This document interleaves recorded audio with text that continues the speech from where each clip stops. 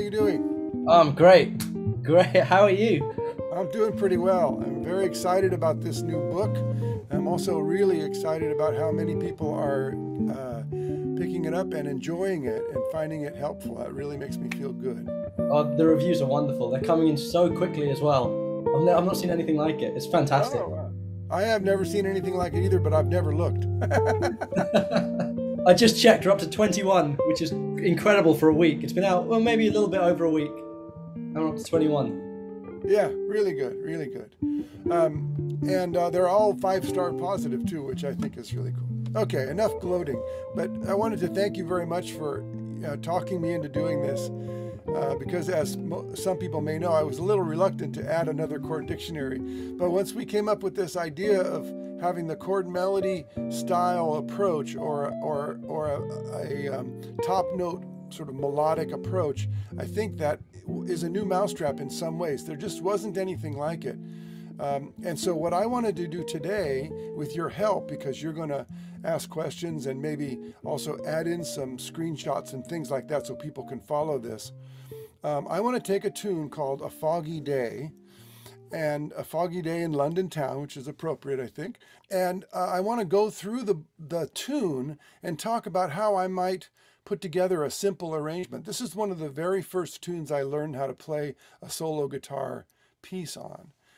And I think it's a good one for everybody to try and learn, even though it's not a real, you know, uh, standout popular tune or anything. It's got a lot of really nice things about it.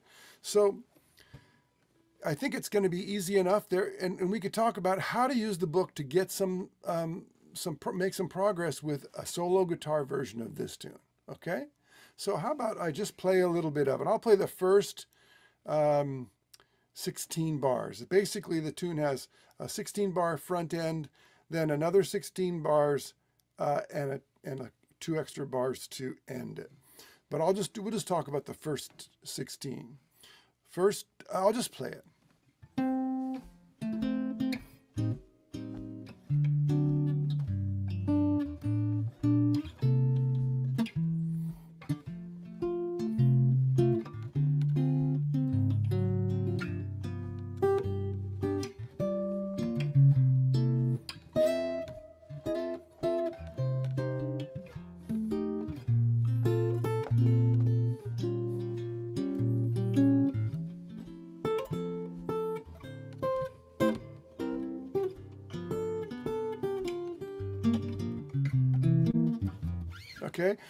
That's just something like I might play it if I was playing uh, a little background music somewhere in a situation or or even in a concert.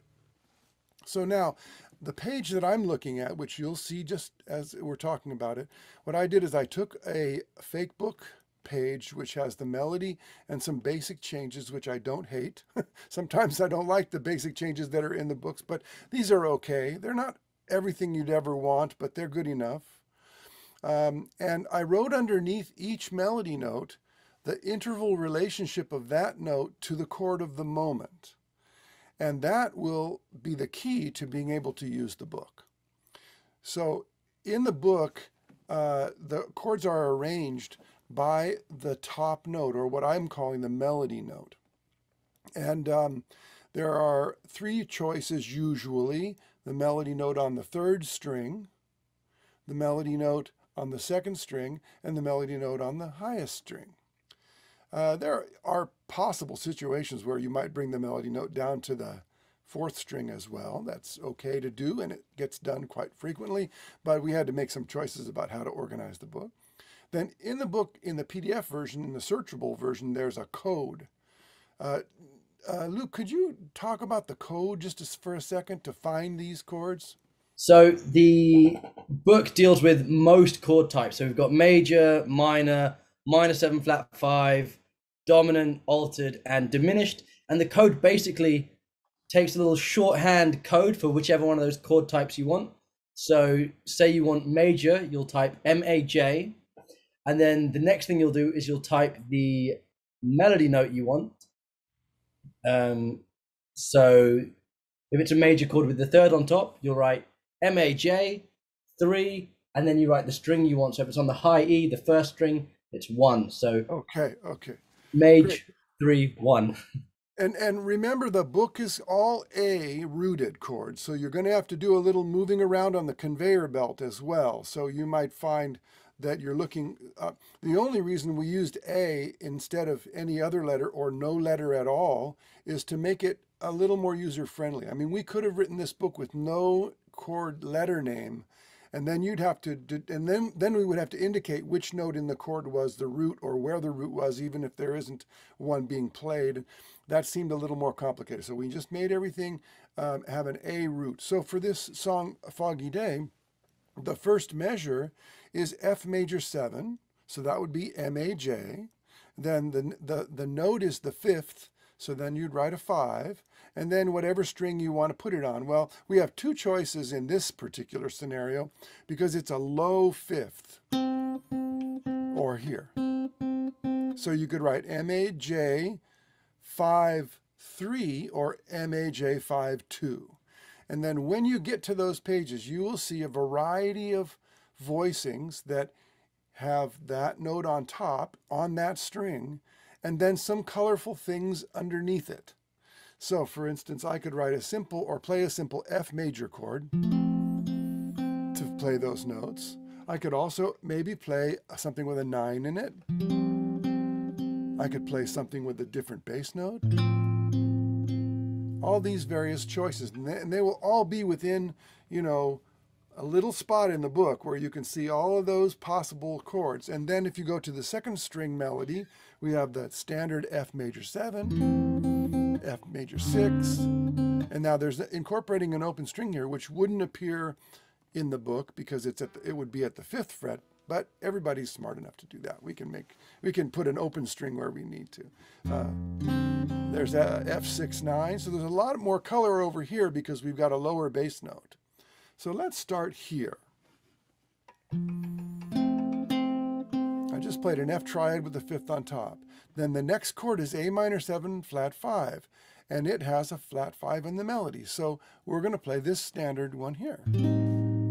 So then you'd say A, if you're searching for it. No, what are you doing? You're you would say minor 7 flat 5, right? Is that what you, the code would yes, be? Yes, it would be M7 flat 5 is the code M7 for that. M7 flat 5.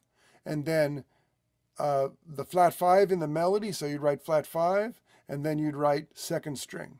If you're searching, you could search for the for it on the third string. You could search for it on the top string, and you might not succeed in getting it in the right range. But you can always move these things around on the conveyor belt, so chances are you'll be uh, able to find that. And then again, around that uh, voicing, there will be some color, right? So maybe we want a natural nine in that flat five we want some, you know, right off the bat, we want to say, you know, it's foggy in London, right, with that chord. But maybe you don't want it. Maybe you just want the simplest thing. And then the next chord is D7 with a flat 9. You'll find that one in the altered section. In fact, it's just a continuation of the melody. And then we continue. There's G minor 7 with the fifth in the bass. I'm sorry, with the fifth in the melody regular old G minor chord will work. You could play this one. Maybe you can play this one, which I love. Right? But we want to have that note in the melody. Okay? You can also move things around. There's no, there's no uh, hesitation to, shouldn't be any hesitation to color these things in beautiful ways. Um, Another thing about the book that I think is very important is underneath every chord voicing is the interval array that's for that chord. Now this does a couple of things. It tells you what the chord contains. It also tells you if you want to move lines around while you're sustaining a melody and you want to find the nine, well, it may not be in the original voicing, but you can see where it is if you just do a little bit of observation. Okay? Um, excuse me. So that's how uh, we would get through um, the first four bars of this thing. And then the, the, last one is a C7 with a 13 on top. Certainly in the fake book, they could have called that C13, but typically they don't call it C13. They just call it C7, and then it's up to you to put the melody in there, right? Because the book wasn't written just for guitar players, right? Okay, so now we can say this. Here's what it would sound like.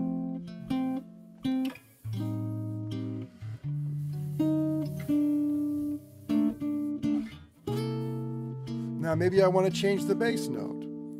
Now, the, the book doesn't have this type of information in any great detail, but if you go to the pluralities section, you might discover that C7 and E minor 7 flat 5 are the virtually the same type of sound. C7 and a chord built from its third, E minor 7 flat 5 equals E9. Well, this melody note is here.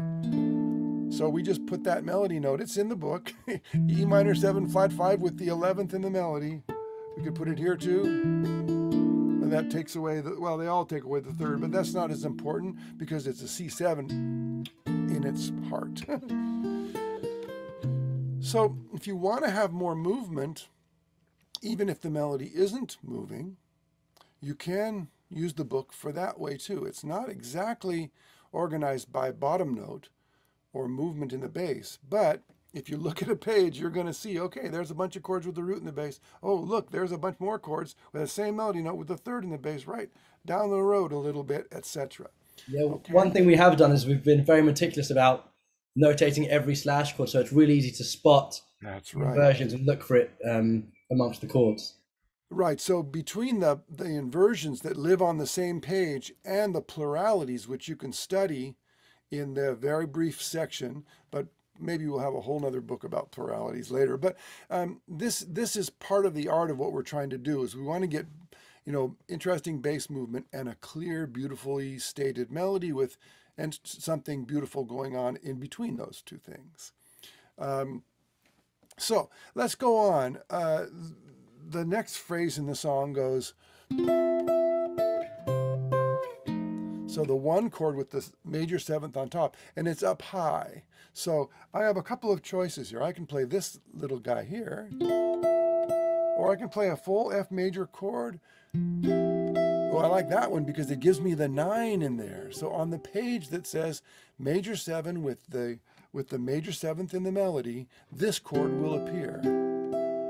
All right, and maybe this one will appear, and maybe even this one will appear right? I like that one. Anytime there's a nine rubbing against the one or something like that, or against the three, I'm a happy camper, you know. Oh, that's good. We're going to keep that one. Okay, and then a, a simple C minor seven with a C on top. That's the easiest way to do it if you're playing fingerstyle, which I highly recommend. But you could put a nine and maybe even a seventh in there.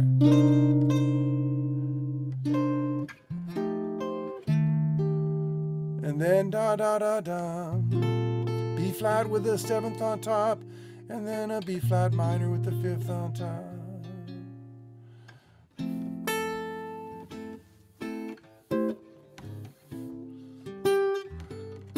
G9 with the 9 on top, and then the fifth on top of the 2 and the 5. Okay? So now you get a glimpse into not only how to use the book, but how my brain works when I'm trying to work out a tune, or even if I'm playing it on the spot. So, to be honest with you, if I look at a fake book, I see the name of the note perhaps, but I also immediately give that thing a number. So I'm, I'm looking at the, the sheet, sight reading a tune, trying to make a solo guitar arrangement, which I'll pretend to do now. Five, flat five, flat nine, five, thirteen, one, flat five. there it is. Five. I'm just saying those, just recognizing those intervals as I'm playing the tune because I have my chordal vocabulary organized by interval number rather than note name. Okay?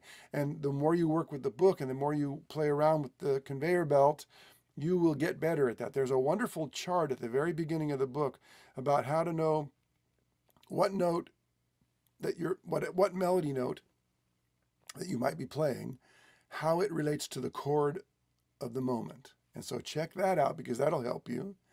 And then once you work with this conveyor belt and do a lot of moving chords around to fit the key that you want it to be in, you'll get more and more well versed in this numbering system, which is really handy. Another reason the numbering system is really handy is, let's say I've, I've got a, a solo arrangement of A Foggy Day, and I play it so nicely.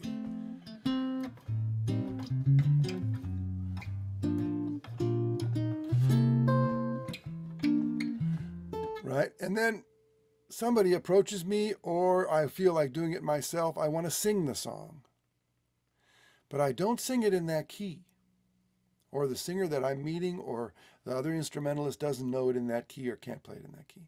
Well, if I know the numbers, one, this is the number of the of the chord itself in relationship to the rest of the chord. So one, three minor, six dominant, two, five, and one, six with a minor seven flat five, and then two dominant, then two minor and five, right? So say somebody wants to play that in A flat. Oh my God, A flat. I can't play that in A flat. Well, if you know the numbers, and then see,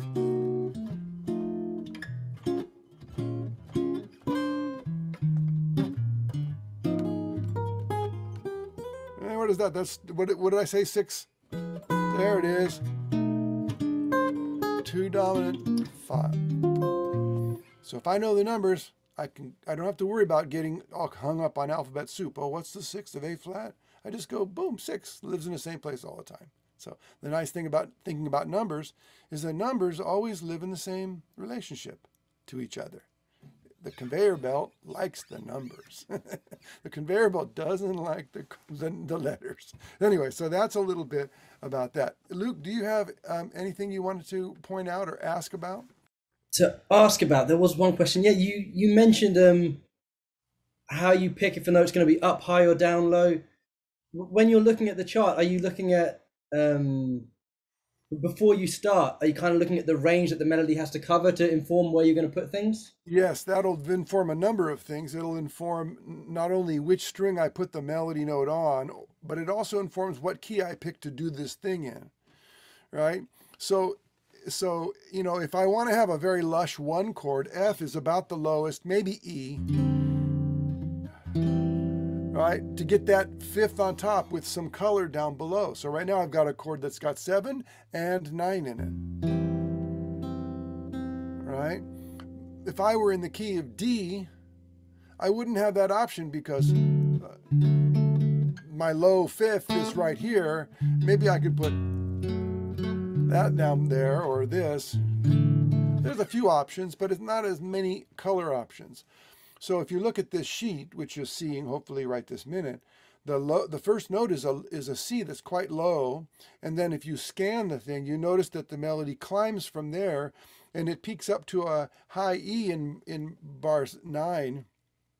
That might be the highest note in the whole piece. So the, the song has this as its lowest note, and that as its highest note. So F works really well because it can get all of that stuff, right? If I decided to do it in B flat, I might have a very lush one chord and options thereof. But then when I go to here, I'm way up here for that last, right? And if I have a Telecaster, that's a beautiful range up there. But on this particular guitar, which is one of Ted Greene's old guitars, by the way, um, it uh, it's a little bit high up. So I pick and choose based on that. But you can, yeah, scan the, the melody. Typically, guitar is sounds, what is it? It sounds an octave higher than it's written. Yeah. Um, so, uh, so we don't live in ledger lines all of the time. And, um, and so we usually, we, we basically transpose because when a piano player plays that, what they call middle C, it sounds like this. But when we play it, usually it sounds like this. Right? When you read that one ledger line below the staff treble clef, usually we think it's that. But um, I read it up an octave just so that it works, because there's not much, not much going on down here. And maybe I could do it. not very interesting, right? Uh, okay, hopefully that answers that. So so just as like a starting place, they might look at the tune and see the range that they've got to cover before even committing to a key, before even starting to find voicings. And right. then what they could do is what you've done here, which is mark out the intervals of each melody note for the chord in the moment. Yeah, you might have to start doing that, sort of really doing whatever the, the work is, however long it takes to, to indicate what the numbers are. Um, so that you don't have to be thinking of it while you're trying to play, you know, and then you'll get better and better at it and you can do it more spontaneously. The other thing that I would say, Luke, is it's really, really important to learn the melody of a song independent of any chords. And if you're going to try and play it on um, as a solo guitar piece, you might want to learn the melody along the fingerboard, maybe on the top two or three strings.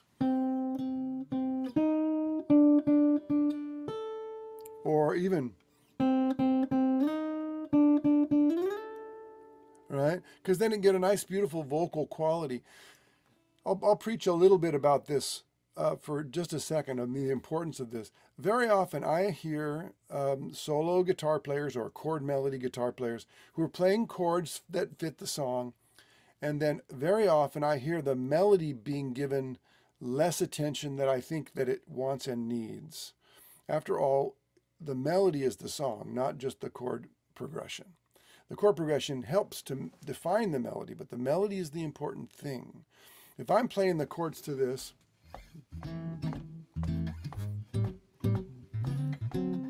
maybe an astute musician might know, oh, you're playing Autumn Leaves. I mean, uh, a foggy day. But my mom won't know that, right? Because the melody's not there and the, and the association is to the melody. So we learn the melody first or at least early on, so we can really sing it or hum it and really play it beautifully with all of the rests that are involved and held notes, and you play it really beautifully.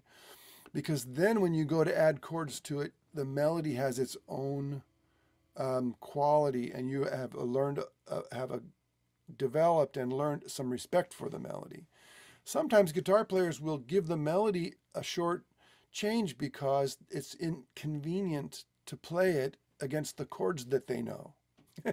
right? You know certain chords. Well, I know an A minor 7 flat 5. Well, it happens to be that the melody note is in that chord that I know. But what if I want to play it up here? Well, yeah, I can't really get that note unless I do some funny fingering. So I say learn the melody so that you cause yourself to be respectful of the melody and learn the voicings that you need to learn in order to play a good accompaniment to the actual melody instead of this sort of blowing off the hard notes. Because that's it really is happen it does happen. I hear a lot of you know solo guitar performances where the melody is sort of craftily reinvented so that it falls nicely on the guitar and sometimes you have to do that. Sometimes you might want to do that. But don't do it in unintentionally you know don't do it because it's hard you know don't learn a melody okay cool there's a, a couple of other things so the the other thing that I, I want to mention, um, just for people when they're working through the book, is that you might be on one chord for multiple melody notes. That doesn't mean you have to swap to another chapter in the book to find it for every melody note. You can look on the page you're on, and because we've listed out all the intervals in a chord, you can find one voicing which ha- in its top two voices gives you the melody notes that you would need. Yes, thank you very much for pointing that out. Um, there is an erroneous idea that oftentimes we have and it makes people worried and it makes people feel like it's a really hard thing to say well every note in that in that chord melody is supposed to have a chord on it and and or a new chord well this one the reason i chose this tune is because it has repeated melody notes and they right now you can do a simple version where you say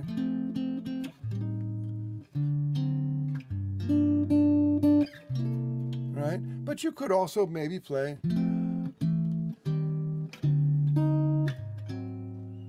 You know, there's all kinds of extra things that you can do in the movement.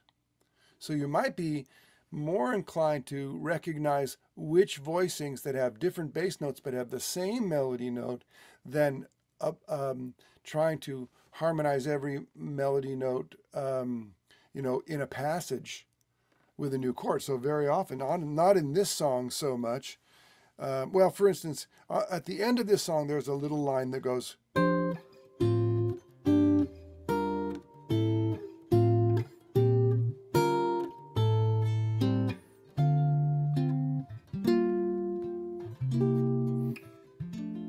That's about the most active part of the song and it's just quarter notes. And you could say voice an F with a this is um, the second line from the bottom. F with a C on top, and then F with an F on, on top, and then G with a G on top, and then G with a B flat on top. These are all just the simplest voicings possible. But you could also say, oh, sorry.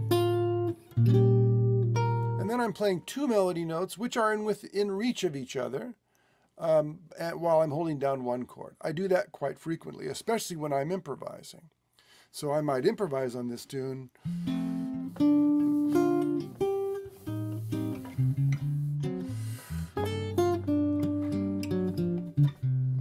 All that happened on one fingering. There I changed chords a bunch of times.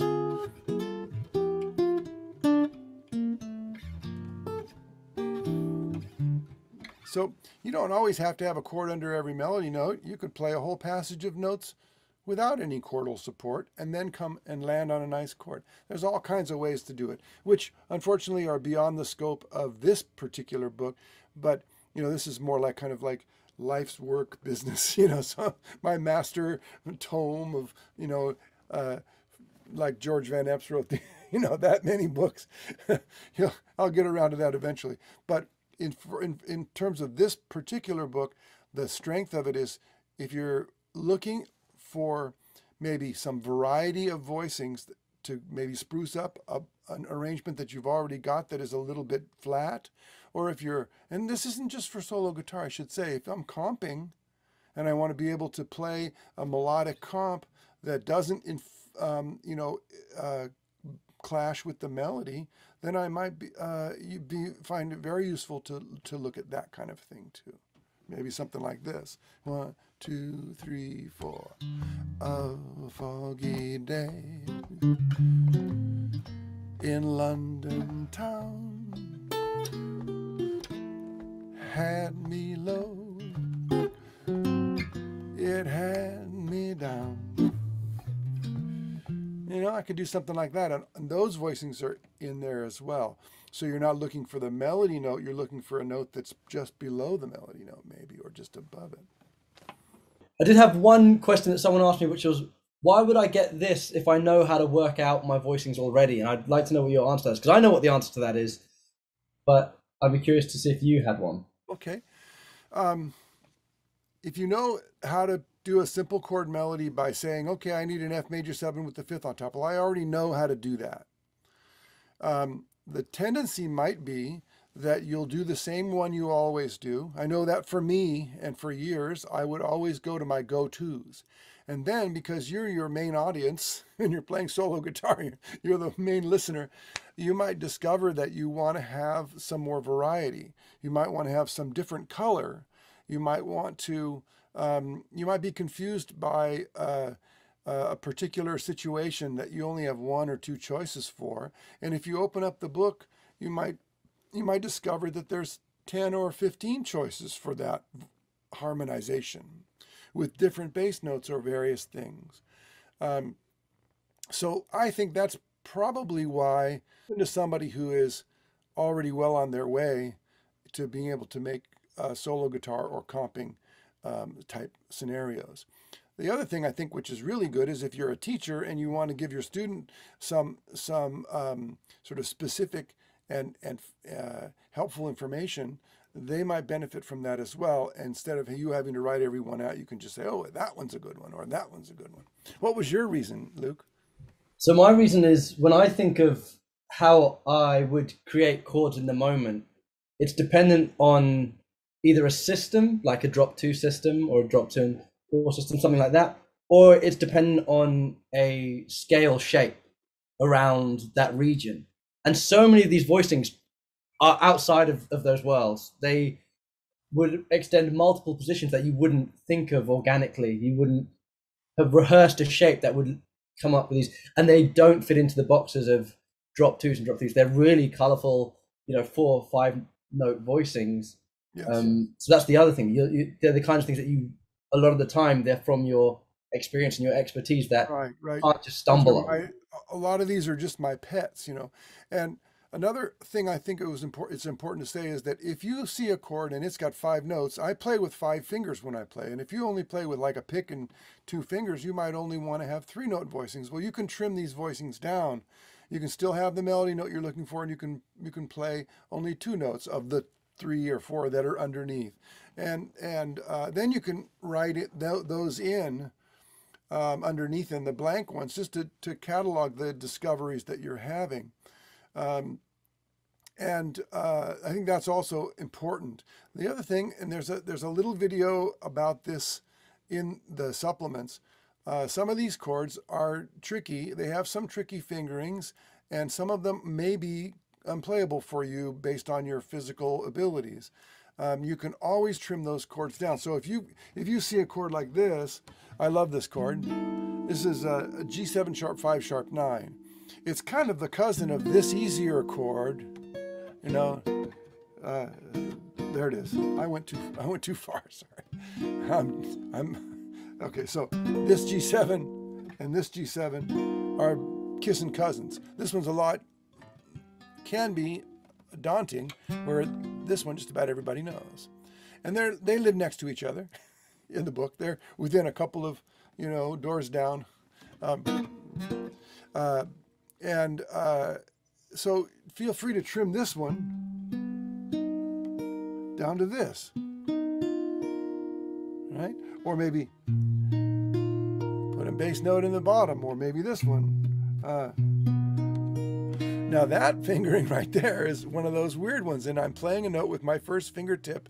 I'm fretting two notes, one fret below that over here, so I can get a, a B in, in the bottom of my G7 sharp 5 sharp 9. so there are some tricky ones, there are some weird ones, and, and explore them. Uh, we didn't indicate them at all, but if you ever see a note where you say to yourself, how the F did he do that? Or I don't have enough fingers to do that that's one of these funny ones. and yeah, there's videos on how to play some of those, as well as over maybe five hours now of additional videos of playthroughs, masterclasses um, that you get access to alongside the book. Awesome. I think that wraps it up. I think that's a great way of explaining how how to get uh, the most out of this book. Okay, well, do your magic with uh, the editing, uh, Luke, and and so we can have the the pages of the book and all these kinds of things that, uh, zo- zoomed in there. That would be great. Perfect. And yeah. I yeah. wanted to thank everybody once again. Uh, I I, um, I hope you really enjoy the book and get a lot out of it.